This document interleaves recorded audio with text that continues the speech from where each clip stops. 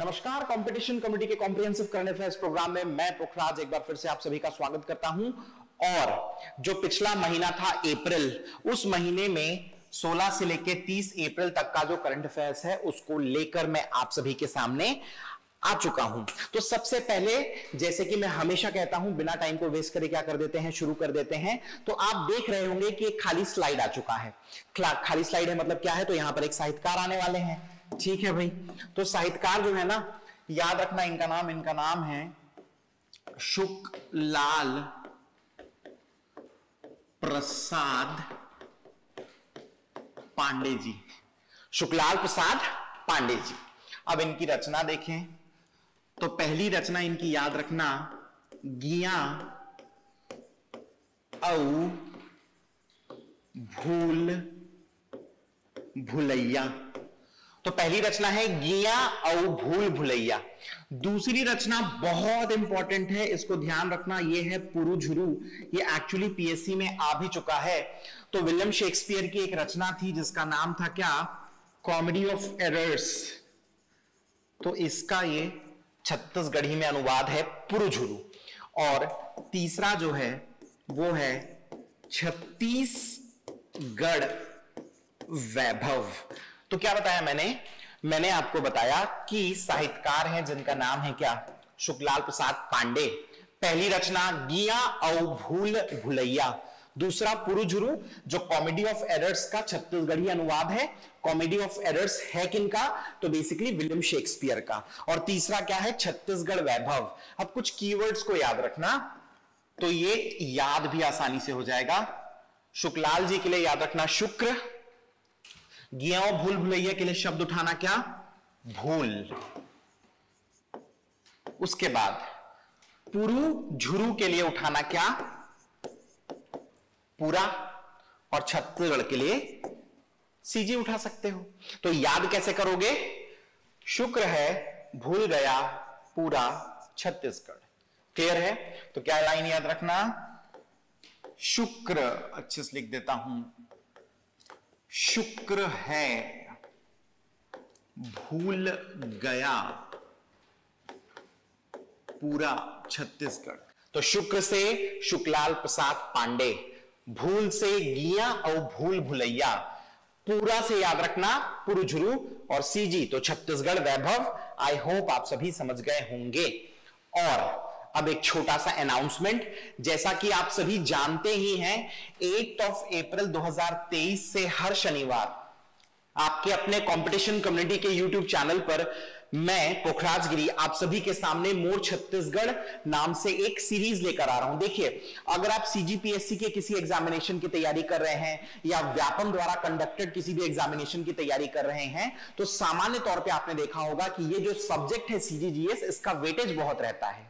और खासकर नए ज़िले बनने के बाद लोगों में कंफ्यूजन भी बहुत है।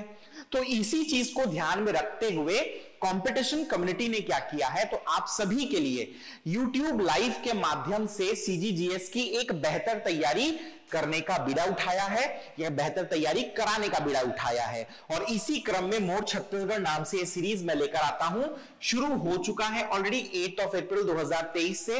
हमारे यूट्यूब चैनल पर जब आप जाएँगे तो मोर छत्तीसगढ़ के नाम से एक प्लेलिस्ट भी बना हुआ है, जिसमें जाकर पुराने वीडियोस को आप देख सकते हैं। और आने वाले वीडियोस के लिए हर शनिवार दोपहर तीन बजे आप हमारे YouTube चैनल पर आए और इस सीरीज़ का आनंद उठाएँ। ठीक है? चलिए, अब हर बार की भांति क्या करते हैं? जो लास्ट वीडियो के क्वेश्चंस थे, उन क्वेश्चंस को पहले देख लेते हैं। तो पहला ही क्वेश्चन क्या है? छत्तीसगढ़ सरकार की राज्य महिला उद्यमिता नीति के संबंध में असत्य कथन। मतलब इनकरेक्ट क्या स्टेटमेंट है ये बताना है? तो पहला ही, इसकी अवधि 2023 से 2028 तक है। तो ये स्टेटमेंट बिल्कुल सही है। लास्ट वीडियो में देखे थे 2023 से 2028 तक चलेगी ये नीति।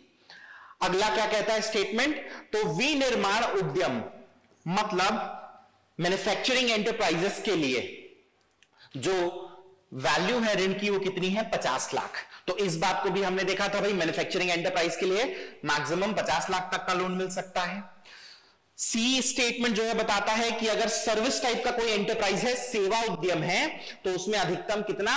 25 लाख रुपए का ऋण का प्रावधान है। यह स्टेटमेंट भी बिल्कुल सही है।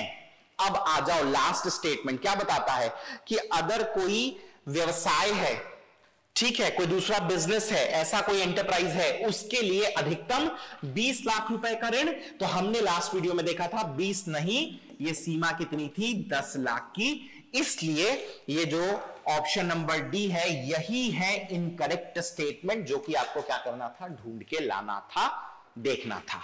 ठीक है? एनीवेज अगले क्वेश्चन पर आ जाएँ। अगला क्वेश्चन अब देखो मैं यहाँ दबा रहा हूँ। हाँ अब दबा। राष्ट्रीय स्तर पर दीनदयाल उपाध्याय पंचायत सतत विकास पुरस्कार 2023 प्रदान किया गया है। ए, साकरा ग्राम पंचायत, उसके बाद बी, छछान पैरी ग्राम पंचायत, सी, तेंदुआ ग्राम पंचायत, डी, इनमें से कोई नहीं। तो अगर आपने लास्ट वीडियो देखा था तो मैंने आपको बताया था कि स्वस्थ पंचायत। इस थीम में इंग्लिश में हेल्दी पंचायत। हेल्थली लिखा गया जी। H E A L T H Y healthy panchayat. इस थीम में अवार्ड मिला है नेशनल अवार्ड 2023 के लिए किसको? साकरा ग्राम पंचायत को। ठीक है कि नहीं? और ये आता कौन से ज़िले में है? तो धमतरी, यह भी आपको ध्यान में रखना है। क्लियर है? तो लास्ट वीडियो में इसको देख लिए थे। थर्ड क्वेश्चन क्या है? मुख्यमंत्री आदिवासी परब सम्मान निधि योजना, आपको ध्यान होगा, मैंने बताया था 13 अप्रैल को चालू हुआ है ये।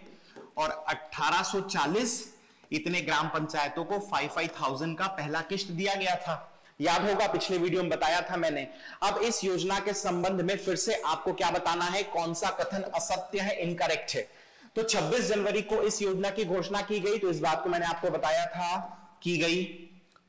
दूसरा बात, इसके तहत ऐसे पात्र पंचायत जो हैं मतलब ऐसे पंचायत जो कि इस योजना के पात्र हैं, उनको प्रतिवर्ष दस हज़ार रुपए का अनुदान दो किस्तों में दिया जाएगा। ये बात भी बिल्कुल सही है। और उसी दो किस्त की पहली किस्त पाँच हज़ार दी गई थी, ये भी आपको बताया था मैंने। सी कहता है कि यह जो योजना है छत्तीसगढ़ के समस्त अनुसूचित क्षेत्र शेड्यूल्ड एरियाज़ में लागू होगी। यह बात भी बिल्कुल सही है। डी स्टेटमेंट क्या कहता है? वित्तीय वर्ष 2023-24 मतलब फ़िज़िकल 2023-24 के लिए बजट में इस योजना के लिए 10 करोड़ रुपए का प्रावधान है। तो यह स्टेटमेंट गलत है। प्रावधान कितने का था? 5 करोड़ का था 10 करोड़ का नहीं था। इसलिए गलत स्टेटमेंट जो है वो ऑप्शन नंबर डी में दिया गया है। आई होप आप समझ गए होंगे। नेक्स्ट क्या है? आयुष्मान कार्ड बनाने में कौन सा जिला राज्य में प्रथम स्थान पर है? तो ये भी आपको मैंने लास्ट वीडियो में बताया था। आंसर क्या है आपका? कांकेर। ठीक है? चलिए। तो अब इस वीडियो के मेन इंपॉर्टेंट न्यूज़ जो है, उस पर आ जाते हैं। सबसे पहले ही दिया हुआ है आकार 2023 ठीक है? इसका आयोजन किया गया या किया जाएगा कह लू। एक से लेके 19 मई तक। तो आकार 2023 इसका आयोजन होगा फ़र्स्ट से लेके नाइनटीन मई तक। ठीक है भाई? अब समझिएगा।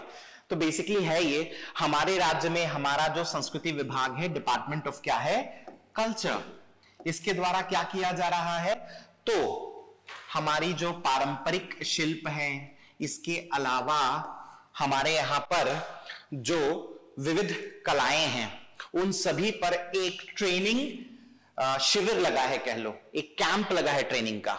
इसी का नाम है आकार 2023 और ये एक से लेके 19 मई तक इसका आयोजन किया जाएगा। ठीक है? तो क्या बताया मैंने? डिपार्टमेंट ऑफ़ कल्चर है। वो क्या कर रही है? तो छत्तीसगढ़ का जो लोकल कह लो या ट्रेडिशनल कह लो आर्ट फॉर्म है। इस पर क्या कर रही है? तो प्रशिक्षण शिविर दे रही है। अब इस पे जाकर किन किन चीज़ों का प्रशिक्षण लिया जा सकता है भाई? तो ध्यान रखना, अगर कोई गोदना आर्ट सीखना चाहे तो उसका प्रशिक्षण मिल जाएगा। इसके अलावा कोई मूरल आर्ट मूरल आर्ट मतलब मूर्ति कला इससे संबंधित ट्रेनिंग लेना चाहे तो इसको मिल जाएगा। इसके अलावा कोई टेराकोटा आर्ट का ट्रेनिंग लेना चाहे तो मिल जाएगा। हमारे जो ट्रेडिशनल वाद्य यंत्र होते हैं म्यूजिकल इंस्ट्रूमेंट्स होते हैं, उसमें अगर वो ट्रेनिंग लेना चाहे तो भी उसे क्या होगा? मिल जाएगा। इसके अलावा बहुत सारी कलाएँ छत्तीसगढ़ में चलती है, जैसे कि रजवार, भित्ति शिल्प हो गया, और बहुत सारी। इन सब का अगर ट्रेनिंग लेना है तो हमारा डिपार्टमेंट ऑफ़ कल्चर एक ट्रेनिंग कैंप चलाएगा। आकार 2023 के नाम से एक से लेके 19 मई तक। ठीक है भाई? अब ध्यान रखना, इसका फ़ी जो है मात्र दो सौ रुपए है भाई। ठीक है? कितना है फ़ी 200 और वो भी, अगर कोई व्यक्ति हैंडीकैप है, या वो ऑर्फन है। समझ में आया? तो कोई हैंडीकैप है, या कोई ऑर्फन है। ऑर्फन मतलब मान लीजिए जिसका कोई ना हो। ठीक है? और हैंडीकैप मतलब तो आप समझ गए। अपंग या अपाहिज तो हैंडीकैप है या ऑर्फन है तो उस कंडीशन में उसको यह ट्रेनिंग जो है वो दी जाएगी फ्री ऑफ़ कॉस्ट अब यह ट्रेनिंग होगी कहाँ तो समझना। लोकेशन है महंत घासीदास स्मारक संग्रहालय। वही गढ़ कलेवक बगल वाला। अब बेसिकली बहुत सारे लोग ना इसको गुरु घासीदास संग्रहालय बोल देते हैं, महंत घासीदास, है ना? महंत घासीदास एक्चुअली नागगांव रियासत के राजा थे। और गुरु घासीदास सतनाम पंथ के संस्थापक। तो ये जो संग्रहालय है, ये जो म्यूज़ियम है, ये महंत घासीदास के नाम पे है, गुरु घासीदास के नाम पर नहीं है। तो इसका वेन्यू, लोकेशन क्या रहने वाला है? महंत घासीदास संग्रहालय। मॉर्निंग की पाली चलेगी सात से दस और शाम की चलेगी चार से सात। समझ में आया कि नहीं आया? तो ट्रेनिंग दो पालियों में लिया जा सकता है, सुबह सात से दस और शाम को चार से सात। ठीक है? अब एकदम से बात कर दूँ अगर इसके ऑब्जेक्टिव की, कि उद्देश्य क्या है इसका तो ध्यान रखना है कि ये जो कलाएँ हैं ट्रेडिशनल और शिल्प है, इनका क्या करना, संरक्षण कंजर्वेशन तो करना ही करना, लेकिन इनका साथ में क्या करना प्रचार प्रसार और लोगों में इसके प्रति जागरूकता लाना। समझ में आया कि नहीं आया? यही इसका उद्देश्य है। तो ट्रेडिशनल हमारा जो आर्ट फॉर्म है छत्तीसगढ़ का, ना सिर्फ़ उसका कंजर्वेशन करना, बल्कि उसको प्रोपगेट करना और लोगों को उसके प्रति क्या करना? जागरूक बनाना या अवेयर करना। यही ऑब्जेक्टिव है आकार 2023 का। क्लियर है कि नहीं है? इसी ऑब्जेक्टिव से या इसी ऑब्जेक्टिव को लेके हर साल जो है शिल्प कलाओं पर प्रशिक्षण शिविर लगाया जाता है। इस साल एक से लेके 19 मई तक लगेगा। आई होप इस पूरे के पूरे टॉपिक को बहुत ही प्रॉपरली आप सभी समझ गए होंगे। एग्जामिनेशन पॉइंट ऑफ़ व्यू से क्वेश्चंस की अगर मैं बात करूँ तो ध्यान रखना सबसे पहला ही क्वेश्चन आपको पूछेगा, आकार 2023 का संबंध किससे है? और चार स्टेटमेंट्स दिए रहेंगे। आपको सिलेक्ट करना है कि जो ट्रेडिशनल आर्ट फॉर्म से उनकी ट्रेनिंग से है। सेकंड पूछ सकता है कि ये जो ट्रेनिंग है कब से कब तक आयोजित की गई? तो आकार 2023 का आयोजन कब से कब तक था? तो फ़र्स्ट से लेके नाइनटीन में ये सेकंड क्वेश्चन हो जाएगा। थर्ड पूछ सकता है कहाँ पर किया गया था? तो ध्यान रखना, महंत घासीदास संग्रहालय। तो ऐसे क्वेश्चंस जो हैं, आप इस टॉपिक में से एक्सपेक्ट कर सकते हैं। अगला नेक्स्ट देखिए, बहुत इंपॉर्टेंट टॉपिक है। क्या है भाई? तो मुख्यमंत्री के मंशानुरूप बालोद डिस्ट्रिक्ट जो है, अभी आप लोग को पता होगा, एक से लेकर तीस अप्रैल तक हमारे राज्य में क्या चल रहा था? सामाजिक आर्थिक सर्वेक्षण। सोशल इकोनॉमिक सेंसिस चल रहा था। और इस सेंसिस में हुआ ये, या कह दूँ सीधा सीधा इस सेंसिस को सबसे पहले कौन से ज़िले ने कंप्लीट किया है? तो बालोद डिस्ट्रिक्ट ठीक है? वही इस न्यूज़ में लिखा हुआ है, मुख्यमंत्री के मंशानुरूप बालोद जिला सामाजिक आर्थिक सर्वेक्षण कार्य के अंतर्गत 16 दिवसों में शत प्रतिशत लक्ष्य को पूरा करने वाला राज्य का पहला जिला बन गया।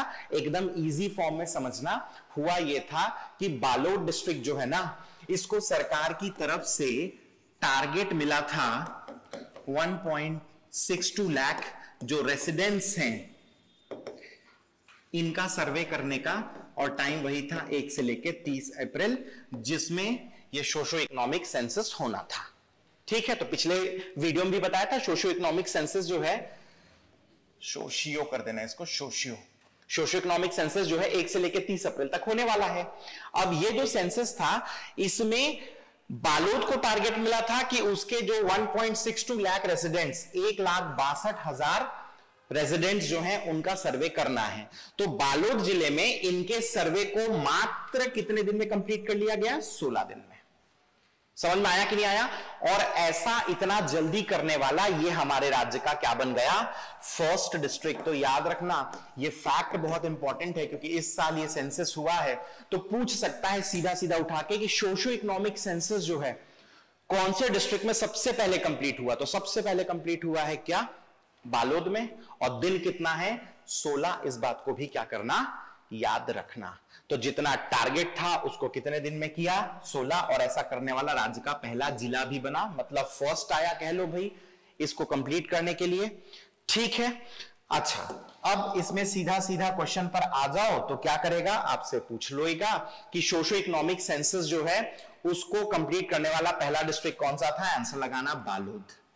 कितने दिन में किया? अगला क्वेश्चन बनेगा तो है 16 क्लियर तो ये दो फैक्ट्स है, बहुत इजी है आई होप आप लोग समझ गए होंगे।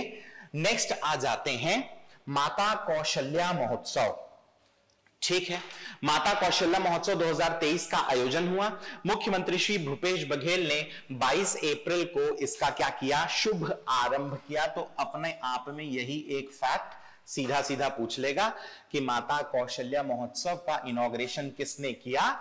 तो सीएम सर ने पहला क्वेश्चन इसको ध्यान रखना। ठीक है?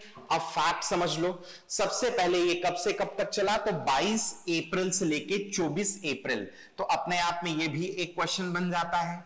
तो पहला क्वेश्चन किसने इनोग्रेट किया? फिर ये कब से कब तक चला? तो ट्वेंटी सेकेंड से लेके ट्वेंटी अप्रैल तक चला। दूसरा क्वेश्चन ठीक है? अच्छा अब नाम ही है भाई, माता कौशल्या महोत्सव। तो कहाँ होगा? तो माता कौशल्या की जन्मस्थली कहा जाता है किसे? चंदखुरी को। मतलब राम भगवान का क्या हुआ? ननिहाल हुआ। तो अभी तक क्या क्या देख लिए? इनोग्रेट कौन किया? कब से कब तक चला? कहाँ हुआ? तो चंदखुरी में हुआ। ठीक है? अब, इसकी अध्यक्षता किसने की है? तो ध्यान रखना हमारे राज्य के संस्कृति मंत्री श्री अमरजीत भगत। तो श्री अमरजीत भगत, जो हमारे राज्य के संस्कृति मंत्री हैं मिनिस्टर ऑफ़ कल्चर हैं, उन्होंने ही इसकी अध्यक्षता की। ध्यान आपको यह रखना है कि गणतंत्र दिवस जो था, उसी दिन मुख्यमंत्री जी ने यह घोषणा कर दी थी कि कौशल्या महोत्सव जो है, उसको हम क्या करेंगे, मनाएँगे सेलिब्रेट करेंगे। और उसी क्रम में 22 अप्रैल से लेकर 24 अप्रैल तक इस महोत्सव को क्या किया गया, मनाया गया। ठीक है भाई, अब इसका उद्देश्य क्या है? तो ध्यान रखना। माता कौशल्या की जो जन्मभूमि है, उनका जो बर्थ प्लेस है, उसका जो वैभव है, उसका जो ग्लोरी है, उसे विश्व पटल पर मतलब ग्लोबल लेवल पर क्या करना? स्टैब्लिश करना, स्थापित करना। समझ में आया कि नहीं आया? इसके अलावा हमारे राज्य में कला, संस्कृति और पर्यटन को क्या करना? बढ़ावा देना। तो art and culture and tourism art and culture and tourism इसको क्या करना? प्रमोट करना। इसके अलावा, महिला सशक्तिकरण वेमेन एम्पावरमेंट और कार्यशील जो कलाकार हैं, जो एक्टिव कलाकार हैं, समझ में आया कि नहीं? एक्टिव आर्टिस्ट हैं। इनको संरक्षण देना इनको संवर्धित करना, प्रमोट करना। समझ में आया कि नहीं? और जो कला को प्रस्तुत करने वाले दल हैं, जो आर्ट ग्रुप्स हैं, उनके सतत विकास कंटिन्यूस डेवलपमेंट के लिए ही माता कौशल्या महोत्सव का आयोजन किया गया। समझ में आया कि नहीं आया? क्लियर है? तो माता कौशल्या की जो जन्मस्थली है, उसका जो ग्लोरी है, उसको ग्लोबल लेवल पर क्या करना स्टैब्लिश करना, राज्य में आर्ट एंड कल्चर टूरिज़्म को प्रमोट करना, महिला सशक्तिकरण के लिए जो एक्टिव आर्टिस्ट्स हैं, उनको कंजर्व करके रखना, उनको और क्या करना प्रमोट करना, जो आर्ट ग्रुप्स हैं, कला दल हैं, उनके कंटिन्यूस डेवलपमेंट के लिए इस महोत्सव का भव्य आयोजन किया गया। ठीक है कि नहीं? एक फैक्ट और ध्यान रखना कि माता कौशल्या का एकमात्र मंदिर कहाँ पर है? तो हमारे राज्य छत्तीसगढ़ के चंदखुरी में ही है। तो आई होप इस न्यूज़ को तो आप बहुत ही प्रॉपरली समझ गए होंगे। क्वेश्चंस की अगर बात करूँ तो सबसे पहले पूछेगा कि शुभारंभ किसके द्वारा किया गया? एक, कब हुआ? दो, कहाँ हुआ? तीन। अध्यक्षता याद रख लेना। चार। क्लियर है कि नहीं? इसके उद्देश्य को थर्टी वर्ड्स में प्रिपेयर कर लेना। पेपर नंबर सिक्स में इस महोत्सव के बारे में सीधा सीधा लिखने के लिए पूछेगा। तो ऐसे तीन चार प्री के क्वेश्चन और एक मेंस का क्वेश्चन जो है, हो जाएगा आपका रेडी ठीक है भाई? चलिए, अब नेक्स्ट देख लेते हैं नेक्स्ट क्या है? तो नेक्स्ट है, मुख्यमंत्री श्री भूपेश बघेल के द्वारा गैर अनुसूचित क्षेत्रों के लिए मुख्यमंत्री छत्तीसगढ़ी पर्व सम्मान निधि योजना का वर्चुअल शुभारंभ किया गया। अब याद करो लास्ट वीडियो में मैंने बताया था, मुख्यमंत्री आदिवासी परब सम्मान निधि। इसको 13 अप्रैल को स्टार्ट किए थे। और इसमें क्या किया जा रहा था? तो जितने जनजाति पर्व त्योहार हैं, उनको संरक्षित करने के लिए हर साल दस हज़ार दिया जा रहा था। 1840 ग्राम पंचायत को आई होप आपको याद होगा। ठीक है कि नहीं? और इसी का पहला किस्त पाँच हज़ार रुपए पे किया गया था। इस बात को मैंने आपको बताया था। तो ये तो क्या हुआ? जितने जनजाति त्योहार हैं, जितने ट्राइबल फेस्टिवल्स हैं उनके लिए अब छत्तीसगढ़ी त्योहार, इनके संरक्षण के लिए कौन सी योजना आ गई? तो ये आ गई है मुख्यमंत्री छत्तीसगढ़ी पर्व सम्मान निधि योजना। तो वो आदिवासी पर्व सम्मान निधि योजना और ये छत्तीसगढ़ी पर्व सम्मान निधि योजना। वो स्टार्ट हुई है तेरह अप्रैल को, ये स्टार्ट हुई है बीस अप्रैल को। ऑब्जेक्टिव क्या है इसका? तो जितने छत्तीसगढ़ी पर्व त्योहार हैं, उनके संरक्षण के लिए कंजर्वेशन के लिए, ताकि ग्राम पंचायतों में पैसा रहे तो वो लोग उस त्योहार को मना सके। और इस प्रकार से उन त्योहारों का महत्व इंपॉर्टेंस जो है, वो आने वाली पीढ़ियों को लगातार पता चलता रहे और इस प्रकार से हमारी संस्कृति संरक्षित होती रहे। यही इसका उद्देश्य है ऑब्जेक्टिव है। हमारे राज्य के इकसठ विकासखंड 61 ब्लॉक्स में से 6111 ग्राम पंचायत में ये योजना चलेगी। तो वो 1840 में था और ये है सिक्स ट्रिपल वन ग्राम पंचायत। क्लियर है कि नहीं?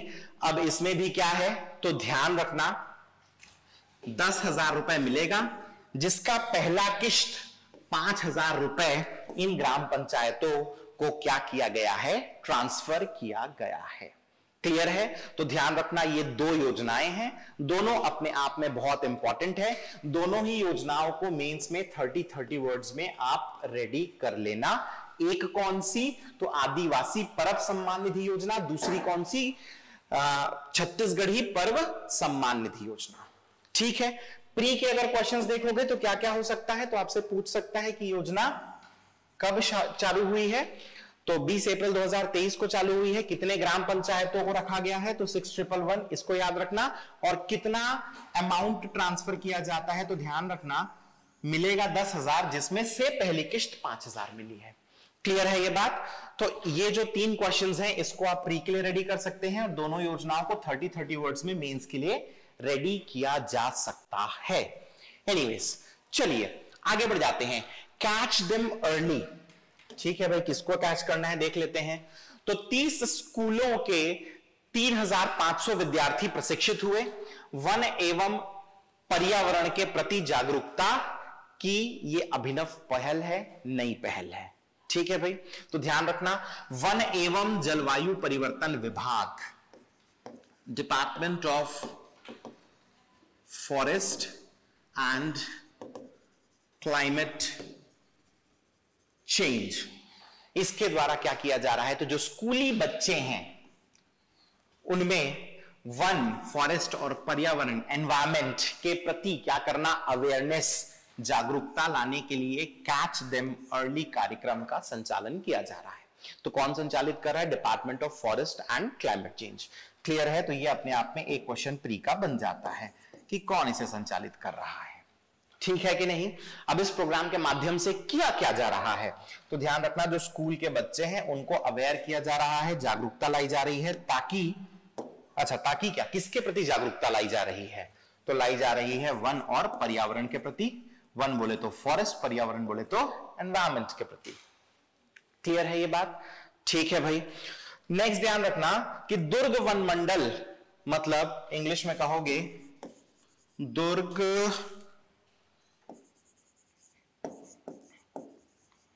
फॉरेस्ट डिवीज़न के अंतर्गत सिक्स से लेके टेंथ तक के जो बच्चे हैं, इनको वन वन्य जीवन और वन विभाग की जो कार्य प्रणाली है, उसी के प्रति जागरूक करने के लिए वर्ष 2022 में इस योजना का क्या किया गया था?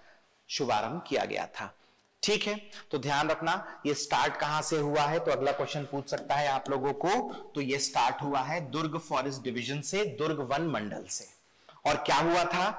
तो वहाँ पर सिक्स से लेकर टेंथ तक के बच्चों को फॉरेस्ट और वाइल्ड लाइफ और जो हमारा फॉरेस्ट डिपार्टमेंट है, उसका जो वर्किंग कल्चर है कार्य प्रणाली है, उसके प्रति अवेयर करने के लिए, जागरूक करने के लिए 2022 में ये योजना जो है वो क्या की गई थी? शुरू की गई थी। अभी तक 30 स्कूल्स के 3500 के लगभग विद्यार्थियों को क्या किया जा चुका है? इस योजना के अंतर्गत ट्रेन किया जा चुका है, प्रशिक्षित किया जा चुका है। अब क्वेश्चंस की बात करोगे तो बता ही चुका हूँ। प्री में सबसे पहले पूछेगा कि ये योजना जो है कौन चला रहा है? ये योजना कब स्टार्ट हुई है? कहाँ से? तो दुर्ग फॉरेस्ट डिवीज़न से 2022 में और उसके बाद फिर क्या है? किसने स्टार्ट किया? Department of forest and climate change अगला क्वेश्चन क्या पूछ सकता है आपसे? तो आपको इसका ऑब्जेक्टिव या उद्देश्य याद रखना है। समझ में आया?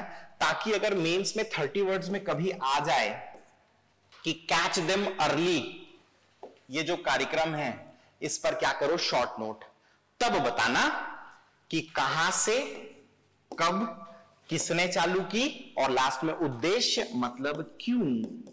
वाई ये योजना चालू हुई।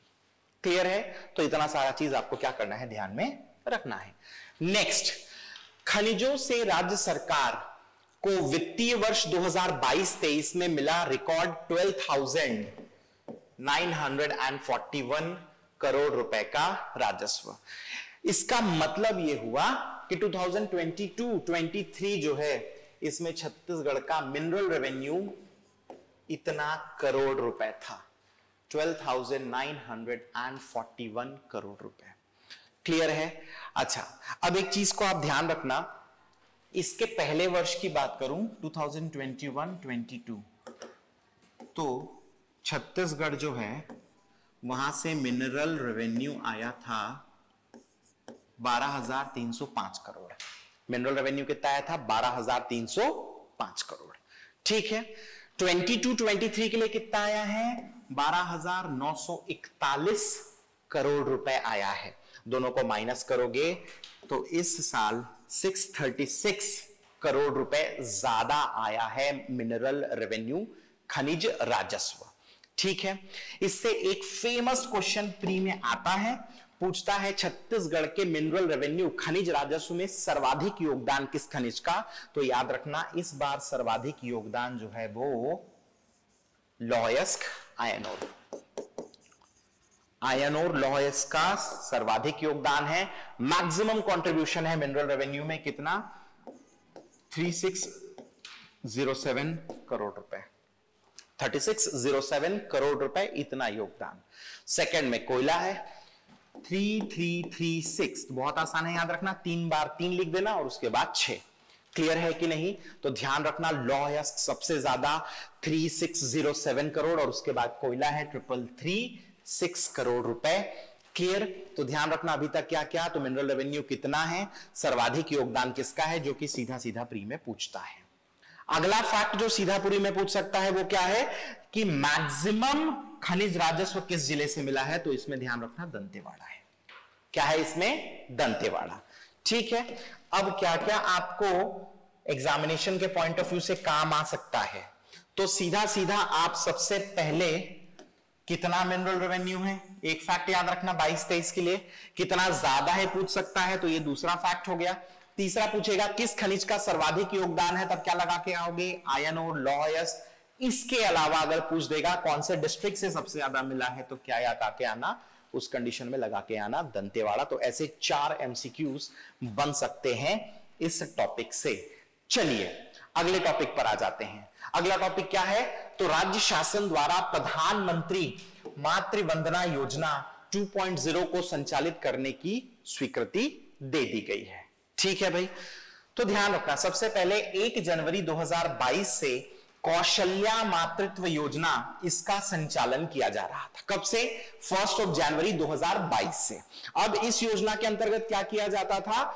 जो सोशो इकोनॉमिक सेंसस है, इस सेंसस में जितनी महिला हितग्राही पात्र हैं, समझ में आया कि नहीं आया? मतलब जितनी फीमेल बेनिफिशरीज हैं, उनके द्वितीय संतान बालिका अगर है तो उसके जन्म पाँच हज़ार रुपए की एक मुश्त सहायता दी जाती थी। क्लियर है? तो ध्यान रखना, पहली ये जो योजना है, क्या नाम है इसका? कौशल्या मातृत्व योजना। फ़र्स्ट ऑफ़ जनवरी 2022 से स्टार्ट सोशो इकोनॉमिक सेंसस में जो पात्र महिला हितग्राही हैं, जो फीमेल बेनिफिशरीज हैं, उनका जो द्वितीय संतान बालिका होने पर फाइव थाउज़ेंड रुपीज़ एक मुश्त दिया जाता था इस योजना के अंतर्गत। अब हुआ क्या? तो भारत सरकार का महिला एवं बाल विकास मंत्रालय ministry of women and child development उसने नया दिशा निर्देश जो है वो जारी किया है, जिसके अनुसार प्रधानमंत्री मातृ वंदना योजना। इसके अंतर्गत पहले दो जीवित बच्चों के लिए महिलाओं को लाभ उपलब्ध कराया जाता है। तो अब ये जो नई योजना जिसके बारे में हम पढ़ रहे हैं, क्या नाम है उसका? प्रधानमंत्री मातृ वंदना योजना। इसके अंतर्गत क्या किया जाता था? दो जीवित बच्चों के लिए पहले महिलाओं को लाभ उपलब्ध कराया जाता था। ठीक है भाई? अब इसके लिए हो ये रहा है कि दूसरी संतान का बालिका होना क्या है? अनिवार्य है। दूसरी संतान का बालिका होना क्या है? अनिवार्य है। अब एक अप्रैल 2022 से ये जो योजना है मातृवंदना योजना, ये चल रही थी। तो ध्यान रखना, दो योजना है। एक जनवरी 2022 से हमारे यहाँ कौशल्या मातृत्व योजना चल रही थी। सोशो इकोनॉमिक सेंसस में जो पात्र महिला हितग्राही है, उसकी दूसरी संतान हुई बालिका के रूप में तो पाँच हज़ार रुपए उसको एक मुश्त राशि दी जाती थी। सेकंड मैंने क्या बताया? एक योजना है, जिसका नाम है क्या? प्रधानमंत्री मातृ वंदना योजना। अब ये जो योजना है, इस योजना में पहले दो जो जीवित जन्म है, या जो जीवित बच्चे हैं अलाइव चिल्ड्रन हैं, उनके लिए महिलाओं को लाभ मिलता है। और इस योजना में क्या होता है कि दूसरी संतान का बालिका होना अनिवार्य है। एकदम कंपलसरी है मैंडेटरी है। और यह योजना कब से चालू हुई है? एक अप्रैल 2022 से। ठीक है? अब जो निर्देश आया है तो उसके अनुसार प्रथम संतान पर अब दो किश्तों में पाँच हज़ार रुपए की सहायता? तो मैंने अभी बताया कि ये जो प्रधानमंत्री मातृ वंदना योजना है, इसमें क्या है? दो जीवित बच्चों का लाभ मिलेगा ना? तो पहले जो बच्चे हैं, उसके लिए क्या हो रहा है? दो किश्तों में पाँच हज़ार रुपए मिलेंगे। और द्वितीय, बालिका संतान। तो मैंने इसमें यह भी बताया था, दूसरी संतान बालिका होना अनिवार्य है। तो द्वितीय, बालिका संतान, इसके लिए राशि सिक्स थाउज़ेंड रुपीज़ जो है, यह दी जाएगी सहायता के रूप में। तो जब प्रधानमंत्री मातृ वंदना योजना 2.0 के संचालन को अनुमति मिल गई है तो कौशल्या मातृत्व योजना इसको सरकार डिसकंटिन्यू कर रही है। समझ में आया? तो भाई, एक योजना हमारे यहाँ चल रही थी। एक योजना कौन चला रहा था? केंद्र सरकार केंद्र सरकार ने कहा, इस योजना का 2.0 लेकर आना है। तो हम लोग यहाँ से क्या बोले, ठीक है, चलो इसका 2.0 करा लेते हैं अपन। तो जो पहला जो चल रहा है, इसको क्या कर देंगे? विथ होल्ड कर देंगे विथ हेल्ड कर देंगे। तो ये जो योजना है, ये योजना क्या होगी? कुछ समय के लिए रुक जाएगी। और अब चलेगी कौन सी हमारे यहाँ पर? तो प्रधानमंत्री मातृवंदना योजना 2.0 ठीक है? अगर बात करें सीधा सीधा तो इसमें क्या क्या क्वेश्चन बन सकता है? तो पूछेगा कौशल्या मातृत्व योजना कब शुरू हुई? तो एक जनवरी 2022 अगला पूछ सकता है कि प्रधानमंत्री मातृवंदना योजना कब से चालू हुई है? तो एक अप्रैल 2022 इसका भी डेट याद रखना। मेंस में दोनों को 30 30 वर्ड्स में क्या कर लेना? याद कर लेना। पेपर नंबर फाइव जो है ना, इसमें सीधा सीधा पूछेगा कौशल्या मातृत्व योजना इस पर लिखने के लिए, या प्रधानमंत्री मातृवंदना योजना इस पर लिखने के लिए आपको पूछ सकता है। चलिए अब नेक्स्ट छत्तीसगढ़ के दो पंचायतों को मिला राष्ट्रीय पंचायत पुरस्कार। तो राष्ट्रीय पंचायत पुरस्कार 2023 इसके बारे में हम पिछले वीडियो में भी देखे ही थे। ध्यान रखना ये कितने थीम्स पर दिया जा रहा है? नौ। इसमें से दो थीम हमारे लिए बहुत इंपॉर्टेंट है। पहला थीम क्या है? तो है गरीबी उन्मूलन एवं आजीविका संवर्धन। इंग्लिश में यह है poverty free and enhanced livelihood ठीक है? तो गरीबी उन्मूलन एवं आजीविका संवर्धन poverty free and enhanced livelihood ये एक थीम है, दूसरी थीम याद रखना है क्या? स्वस्थ पंचायत इंग्लिश में हेल्दी पंचायत। ठीक? तो मैंने आपको बताया नेशनल पंचायत अवार्ड 2023 नौ थीम में दिया जा रहा है, जिसमें से दो हमें ध्यान रखना है। तो पहली जो थीम है, गरीबी उन्मूलन वाली, इसमें राष्ट्रीय स्तर पर नेशनल लेवल पर, नागम ग्राम पंचायत, ये कहाँ आता है? तो लुंड्रा, और लिंड्रा कहाँ आता है? तो सरगुजा। तो लुंड्रा जनपद पंचायत, सरगुजा डिस्ट्रिक्ट के अंतर्गत, ये जो नागम ग्राम पंचायत है ये इंडिया में थर्ड रैंक लाया है। Poverty free and enhance livelihood की कैटेगरी में गरीबी उन्मूलन एवं आजीविका संवर्धन की श्रेणी में। वैसे ही धमतरी जो जिला है, उस धमतरी ज़िले में एक विकासखंड है जिसका नाम है नगरी और नगरी जनपद पंचायत के अंतर्गत साकरा ग्राम पंचायत जो है उसको नेक्स्ट अवार्ड मिला है, स्वस्थ पंचायत या हेल्दी पंचायत के थीम में। तो स्वस्थ पंचायत या जो हेल्दी पंचायत है, इस थीम में भी ये जो साकरा था, ये भी इंडिया लेवल पे थर्ड रैंक हासिल किया है। तो ध्यान रखना, दोनों ही थीम्स में जो अपना नागम है, वो भी इंडिया में थर्ड रैंक पर आया, और जो अपना साकरा है, वो भी इंडिया में कौन सा रैंक पर आया? थर्ड रैंक पर आया और इसीलिए नेशनल पंचायत अवार्ड 2023 इन्हें मिल रहा है। क्लियर है कि नहीं? तो कुल नौ थीम जिसमें से दो थीम याद रखना है, गरीबी उन्मूलन वाले में नागम और उसके बाद स्वस्थ में साकरा। दोनों ही इंडिया लेवल में थर्ड थर्ड रैंक पे आए हैं। नेक्स्ट आपको ध्यान रखना है, इसमें से क्वेश्चंस तो सीधा आपको प्री में पूछ देगा। क्या पूछेगा? नेशनल पंचायत अवार्ड कितने थीम में? नौ। छत्तीसगढ़ को कितने थीम में अवार्ड मिला है? दो। उसके बाद नागम को किस थीम में मिला है? तो गरीबी उन्मूलन। और उसके बाद सांकरा को कौन से थीम में? स्वस्थ पंचायत। तो ऐसे चार पाँच क्वेश्चंस जो हैं एमसीक्यू के फॉर्म में यहाँ पर बन सकते हैं। चलिए, अब कुछ विविध फैक्ट्स पर आ जाते हैं। छोटे मोटे फैक्ट्स हैं ये। तो राजनांदगांव जिला प्रशासन द्वारा संचालित किया जा रहा है कंप्यूटर मोड संगवारी। तो स्कूल लेवल के जो बच्चे हैं ना, इनको क्या किया जाएगा? कंप्यूटर प्रोफिशिएंसी में ट्रेन किया जाएगा इस प्रोग्राम के माध्यम से। नेक्स्ट क्या है? राजनांदगांव में हमर परिवार, हेलमेट परिवार, ऐसा एक व्हाट्सएप ग्रुप बनाया गया है और लोगों को हेलमेट पहनने के लिए क्या किया जा रहा है? प्रेरित तो बहुत ज़रूरी है। हेलमेट पहनना सुरक्षा के लिए। उसके बाद, ये बहुत इंपॉर्टेंट है, अब जो बता रहा हूँ, याद रखना, मानस मंडली जो होती है, उसकी महिलाओं को अब माता कौशल्या अलंकरण मिलेगा।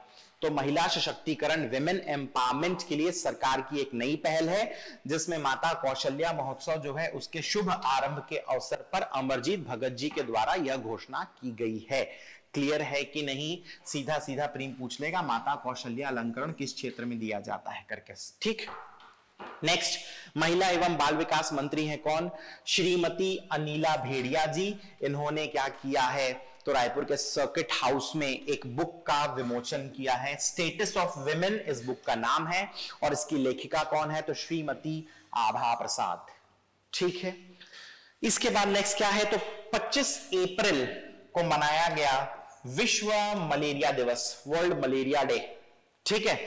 तो पोस्टर बैनर हैंडबिल के माध्यम से, मलेरिया से बचाव और रोकथाम के लिए क्या किया गया? लोगों को संदेश दिया गया। और फाइनली कमल विहार, अब कौशल्या विहार के नाम से जाना जाएगा। तो कुछ ये अलग से फैक्ट्स थे जिसको प्री के तौर पर या प्री के एमसीक्यूज के तौर पर आपको सीधा सीधा याद रखना है। अब क्या करते हैं? तो वीडियो को एंड करते हैं कुछ क्वेश्चंस के साथ। तो पहला ही क्वेश्चन क्या है? माता कौशल्या महोत्सव का संबंध के संबंध में असत्य कथन का क्या करना है चयन? चार ऑप्शंस आपके सामने हैं। उसके बाद वित्तीय वर्ष 2022-23 में किस खनिज का खनिज राजस्व में सर्वाधिक योगदान रहा? ऑप्शंस आप सभी के सामने हैं। थर्ड क्वेश्चन है, किस ग्राम पंचायत छत्तीसगढ़ की ग्राम पंचायत नागम को किस श्रेणी में नेशनल अवार्ड मिला है? अगला क्वेश्चन स्टेटस ऑफ़ वुमेन पुस्तक जो है, किनके द्वारा लिखी गई है? और फाइनली कैच देम अर्ली का संबंध किससे है? चार ऑप्शंस आप सभी के सामने हैं। चलिए तो ये जो वीडियो है, इसको मैं यहीं पर एंड कर देता हूँ और साथ में मैं अपेक्षा करता हूँ कि शनिवार तीन बजे वाला जो वीडियो है, उसमें आप सभी मेरे साथ शामिल होंगे मोर छत्तीसगढ़ में। चलिए तो मैं मिलूँगा आप सभी से अपने अगले वीडियो में, तब तक के लिए thank you and take care